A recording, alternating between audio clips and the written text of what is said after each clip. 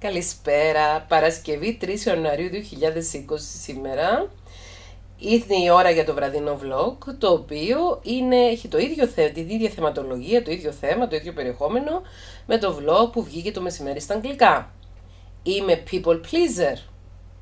Είμαι ένας άνθρωπος ο οποίος κάνει τα πάντα για να ευχαριστεί τους άλλους. Κυρία Θέκλα, ξεκίνησα να παρακολουθώ τις εκπομπές σου τους τελευταίους μήνες μετά από παρακίνηση από τη μητέρα μου η οποία σε παρακολουθεί πολύ περισσότερο καιρό. Είσαι αληθινή, είσαι φως και ο κόσμος το αντιλαμβάνεται αυτό. Αγάπη μου, σε ευχαριστώ πάρα πολύ. Θα ήθελα τόσα να σου γράψω, αλλά δεν θέλω να σε κουράζω. Μεγάλωσα στο φόβο, τον τρόμο, την ανασφάλεια, την καταπίεση, τον παραλογισμό. Όταν μπόρεσα να ξεφύγω από όλο αυτό, ήμουν γύρω στα 33. Μπράβο, αγάπη μου, μπράβο που ξέφυγες. Έκανα ψυχοθεραπεία και ακόμη κατά διαστήματα κάνω. Είμαι πολύ καλύτερα. Δεν το συζητώ. Χρειάστηκε να αλλάξω τόπο κατοικίας, ακόμη να απομακρυνθώ από πρόσωπα τοξικά και να βάλω στη ζωή μου πρόσωπα που με αγαπούν. Μπράβο. Επειδή από μικρή έπρεπε να κάνω αυτό που μου έλεγα για να με αγαπούν, βλέπω ότι αυτή η συνήθεια υπάρχει ακόμη σε μένα. Το έχω εντοπίσει. Δεν θέλω να το κάνω. Θέλω να δυναμώσει η δική μου φωνή, γιατί έχω φωνή και άποψη και να βγαίνει με παρησία και θάρρος προς τα έξω. Δεν ξέρω αν έχεις μιλήσει για το people pleaser χαρακτήρα. Άρα ο τίτλος είναι χαρακτήρας people pleaser. Είμαι! Μπορώ να αλλάξω! Ωραίο θέμα, ε; ε όχι, δεν έχω μιλήσει και σε ευχαριστώ γιατί μου δίνεις την ευκαιρία να μιλήσω σήμερα. Θα ήθελα πολύ, αν έχεις την καλοσύνη, να μας αναπτύξεις και αυτό το θέμα. Βρίσκω τον εαυτό μου πολλές φορές να είμαι έτσι. Ο Θεός να σε προσέχει και η ζωή σου να είναι γεμάτη από χαρά και αγάπη. Σε ευχαριστώ πάρα πολύ. Λοιπόν, τι σημαίνει people pleaser; Το έχει εξηγήσει πάρα πολύ καλά η φίλη. Οι people pleasers είναι οι άνθρωποι εκείνοι οι οποίοι έχουν ως πρωταρχικό στόχο στη ζωή τους να ευχαριστούν τους άλλους. Θέλουν να ευχαριστούν τους γύρω τους ούτως ώστε αυτοί να τους αγαπούν. Αυτός είναι ο στόχος. Η φίλη λέει στην επιστολή της ότι όταν ήταν μικρή και μέχρι τα 30 της 33 της μεγάλωσε σε ένα περιβάλλον πολύ καταπιστικό, στο οποίο, το οποίο αυτό περιβάλλον της δίδαξε ότι για να σε αγαπούν οι άλλοι πρέπει να τους ευχαριστείς. Ότι η αγάπη έχει τίμημα. Ότι δεν αξίζεις από μόνη σου αγάπης, εκτός και αν κάνεις τα πράγματα που θέλουμε να κάνεις εμείς. Είτε αυτοί οι άλλοι είναι οι γονείς, είτε είναι δάσκαλοι, δεν ξέρω εγώ τι άλλο. Ε, οι άνθρωποι που είναι people pleasers μοιάζουν πολύ, είναι το ίδιο με τους συνεξαρτώμενους ανθρώπους. Η προσωπικότητα του people pleaser ψά, μοιάζει ή είναι συνεξαρτώμενη προσωπικότητα. Στο βιβλίο μου Ψυχολογικός Πόλεμος, το οποίο κυκλοφόρησε πρόσφατα από τις εκδόσεις Ψυχογειό και το οποίο περισσότεροι από εσάς το έχετε δει, ή έχετε ακούσει γι' αυτό, αν δεν το έχετε διαβάσει, εξηγείται εκτεταμένα τι σημαίνει κάποιος άνθρωπος να είναι συνεξαρτώμενη προσωπικότητα. Οι people pleasers έχουν τρομερά χαμηλή αυτοεκτίμηση, έχουν πολύ ευθραυστό εγώ. Το εγώ είναι κάτι χρήσιμο και ε, υγιές για τους ανθρώπους. Το εγώ ε, δεν είναι συνώνυμο με τον εγωισμό ή τον εγωκεντρισμό ή τον αρκισισμό. Το εγώ είναι η δομή του εαυτού. Είναι ένας όρος ψυχαναλυτικός, ο οποίος ξεκινάει από τη ψυχανάλυση, τη θεωρία του Φρόιτ, αλλά χρησιμοποιείται και στη ψυχολογία ευρύτερα και σε άλλες ψυχοθεραπευτικές αφηγήσεις. Οι άνθρωποι που είναι people pleaser έχουν πολύ εύθραυστο εγώ, δηλαδή πολύ εύκολα χαλά η εικόνα που έχουν για τον εαυτό τους, πολύ εύκολα νιώθουν άχρηστοι και αναξιαγάπητοι και βάζουν ως πρωταρχικός στόχος στη ζωή τους να ευχαριστήσουν τους άλλους. Και αυτό έχει τις συνέπειες του και αυτό έχει το κόστος του στη σωματική και στη ψυχική τους υγεία. Γιατί αν προσπαθείς συνέχεια να, να, να κάνεις αυτά που σου λένε οι άλλοι να κάνεις και σε ένα ακόμη πιο βαθύ επίπεδο προσπαθείς να μαντέψεις τι μπορεί να θέλουν οι άλλοι από σένα ώστε να το κάνεις για να τους ευχαριστήσεις, τότε σημαίνει ότι γεμίζεις το χρόνο σου και το πρόγραμμα σου με κάμποσες ταλαιπωρίες, με πράγματα που δεν τα κάνεις επειδή γουστάρεις, δεν τα κάνεις επειδή σε ευχαριστούν, Δεν τα κάνεις επειδή τα θέλεις εσύ, δεν τα κάνεις για το δικό σου καλό, τα κάνεις για να ευχαριστείς τους άλλους ώστε οι άλλοι να σε αγαπούν. Οι άνθρωποι που είναι people pleasers δεν μπορούν να πούν όχι. Λένε σε όλους και σε όλα ναι. Οι άνθρωποι που είναι, που είναι people pleasers δεν έχουν προτιμήσεις. Τους ρωτάς τι θες να φας, τι θα φας εσύ; Τους ρωτάς πού θες να πάμε απόψε, πού θες να πας εσύ; Τους ρωτάς θες να βγούμε έξω, εσύ θες να βγούμε έξω. Δεν έχουν δικά τους θέλω. Εννοείται ότι έχουν δικά τους θέλω, αλλά δεν επιτρέπουν στον εαυτό τους να τα νιώσει και να τα εκφράσει αυτά τα θέλω. Καταπιέζουν πάρα πολύ και τα θέλω τους, αλλά και τα συναισθήματα τους και δει τα αρνητικά. Δεν παραδέχονται ποτέ ότι είναι θυμωμένοι, δεν παραδέχονται ότι νιώθουν, ότι νιώθουν ενοχλημένοι, αποφεύγουν πάση θυσία της συγκρούσεις. Οι people pleasers κάνουν πάρα πολλά πράγματα για να αποφύγουν τη σύγκρουση. Εννοείται ότι ε, δεν είναι καλή ιδέα να γουστάρουμε τις συγκρούσεις και να ξεκινούμε με ψηλουπίδημα σύγκρουση, αλλά ε, είναι κάποια πράγματα τα οποία δεν μπορείς να τα αποφύγεις. Για παράδειγμα, ο άλλος σε καταπατά, και πρέπει να συγκρουστείς για να σταματήσει να σε καταπατά, ναι, θα συγκρουστείς. Οι people pleasers όμως δεν συγκρούνται εύκολα.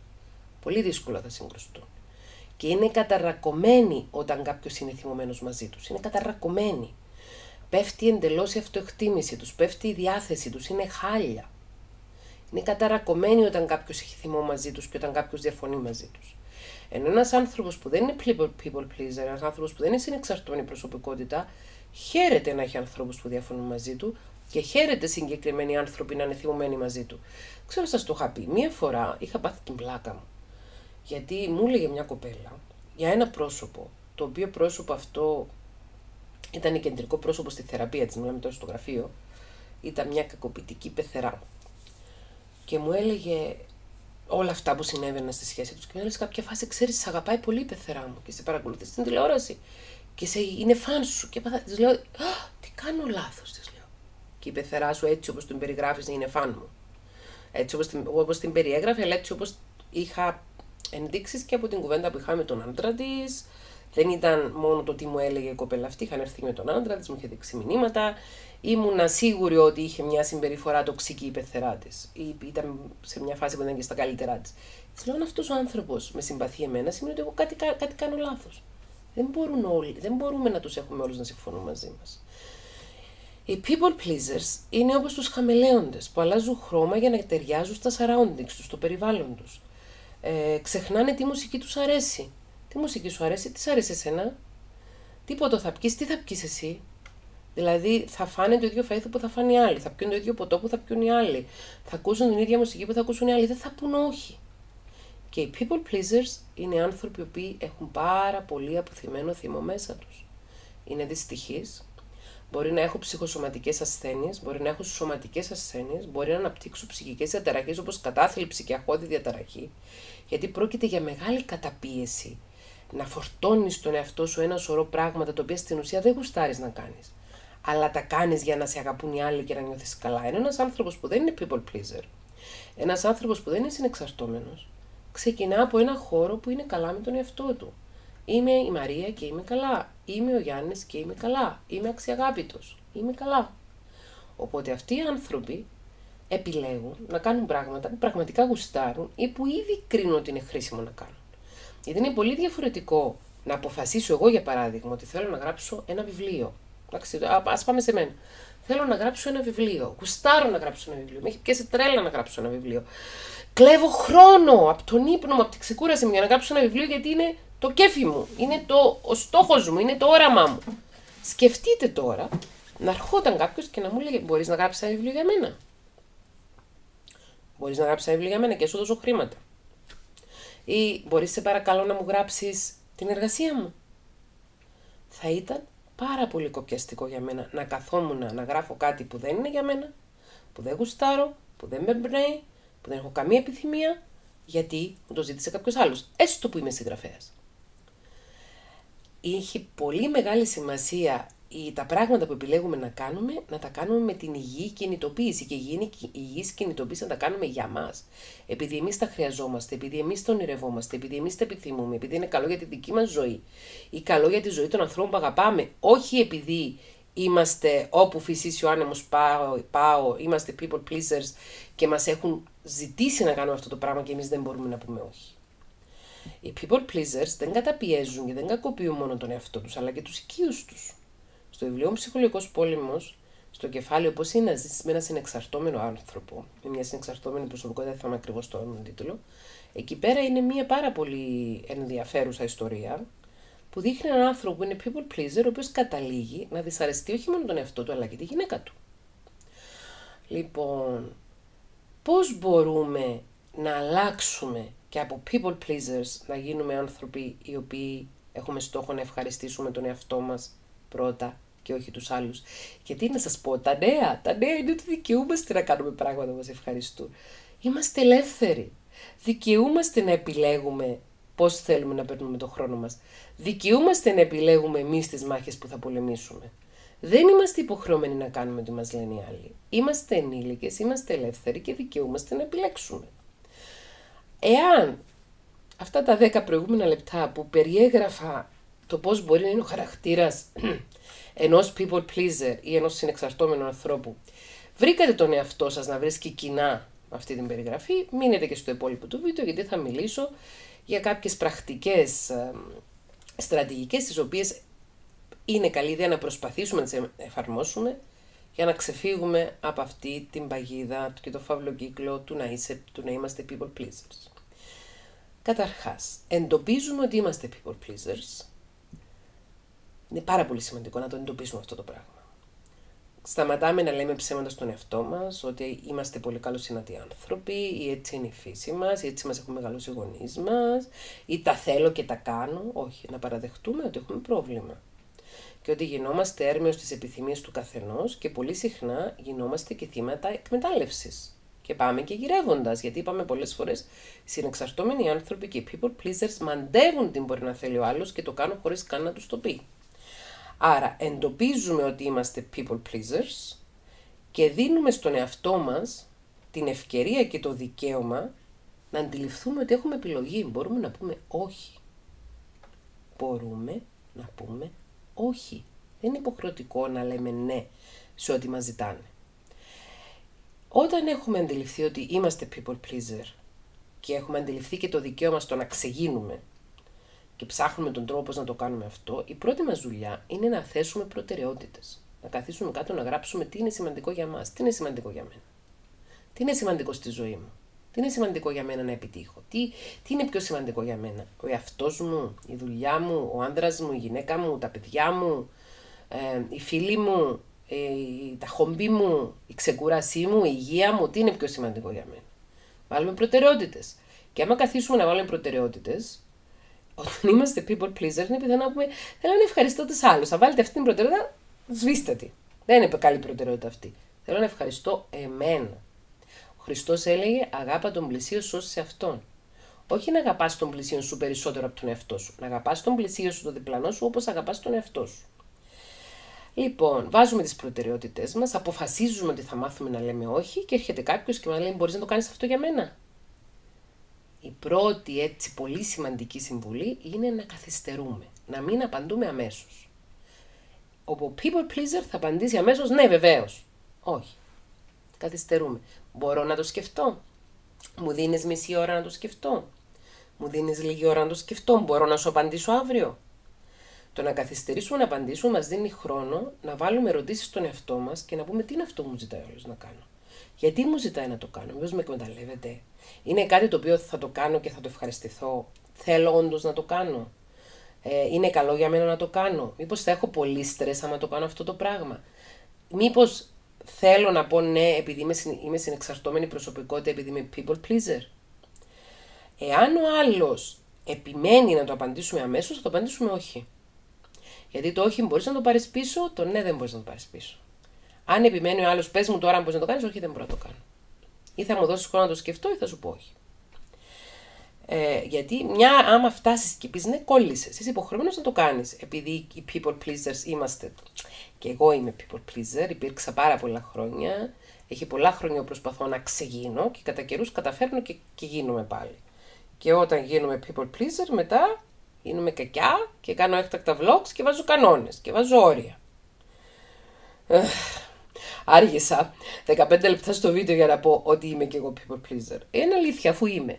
Ήμουν πάρα πολύ, τώρα νομίζω είμαι λιγότερο και θα γίνω όσο το δυνατόν λιγότερο. Θέλω να συνεχίσω να είμαι χρήσιμη, θέλω να συνεχίσω να είμαι καλός άνθρωπος, αλλά δεν θέλω να είμαι people pleaser. Δεν έφυγε τον ένα και τον άλλο να με καταπατά. Αν θα πούμε ναι, βάζουμε χρονικό περιθώριο. Ναι, μπορώ να κάνω αυτό το πράγμα, αλλά την τάδε ώρα. Όχι όποτε θες εσύ. Ε, επίσης, είναι καλά να λέμε στον εαυτό μας, να επαναλαμβάνουμε στον εαυτό μας κάποιες αποφάσεις που έχουμε πάρει, ούτως ώστε να δυναμώσουμε το εγώ μας και να δυναμώσουμε να τσιμεντώσουμε, τσιμεντώσουμε τη θέλησή μας για αλλαγή. Για παράδειγμα, μπορώ να, μπορεί να το γράψουμε και στο ψυγείο μας, στον τοίχο, στο κινητό μας, στην οθόνη αφετηρίας μου να γράψουμε έχω αποφασίσει να πάρω τη ζωή μου στα χέρια μου και να σταματήσω να είμαι people pleaser. Είμαι ένας άνθρωπος ο οποίος μαθαίνει να λέει όχι. Το όχι να γίνει σύνθημα μας, λάβαρό μας. Και όσο πιο συχνά επαναλαμβάνουμε κάτι τέτοιο, τους στείλω εγώ έχω πλέον ε, έχω καταλάβει ότι είμαι people pleaser και δεν είναι καλό για μένα, δεν είναι καλό για την υγεία μου και έχω πάρει συνειδητή απόφαση να λέω όχι. Το παραλαμβάνουμε αυτό στον εαυτό μας. Την επόμενη φορά που θα έρθει κάποιος να μας ζητήσει να κάνουμε κάτι για αυτόν ή που θα μας μπει εμάς των, των, των ιδίων η σκέψη, μήπως να κάνω αυτό να ευχαριστήσω το Γιαννάκη, τον Κωστάκη, τον. Θα, θα πούμε στον εαυτό μας, όχι. Υπήρξα συνεξαρτώμενη, υπήρξα people pleaser, είμαι κατά βάθος people pleaser και προσπαθώ να αλλάξω. Άρα θα λέω όχι. Επίσης όταν λέμε όχι, το λέμε διαβεβαιωτικά. Το λέμε σταθερά, χωρίς δικαιολογίες, χωρίς πολλές πολλές κουβέντες, χωρίς συγγνώμη. Γιατί people pleasers ζητάς συνέχεια συγγνώμη. People pleasers νιώθουν ότι φταίνε αυτοί όταν οι άλλοι δεν νιώθουν καλά. Και το όχι μας δεν είναι ανάγκη να είναι κακό, δεν είναι ανάγκη να είναι εκδικητικό. Το όχι μας μπορεί να είναι ενσυναισθητικό, να λέμε όχι με ενσυναίσθηση. Για παράδειγμα, καταλαβαίνω από πού έρχεσαι, Καταλαβαίνω πώς το σκέφτεσαι αυτό το πράγμα, καταλαβαίνω πώς νιώθεις, καταλαβαίνω την ανάγκη που έχεις, αλλά εγώ δεν μπορώ να σε βοηθήσω. Δεν υποτιμώ αυτό που βιώνεις, αλλά πρέπει να δω και εγώ τον εαυτό μου. Έχω πάρει την απόφαση να δίνω το, στο χρόνο μου, να δίνω περισσότερο χρόνο στον εαυτό μου και στη δικιά μου την υγεία. Εύχομαι να το ξεπεράσει αυτό το πρόβλημα. Εύχομαι να μπορέσεις να το κάνεις από μόνος σου.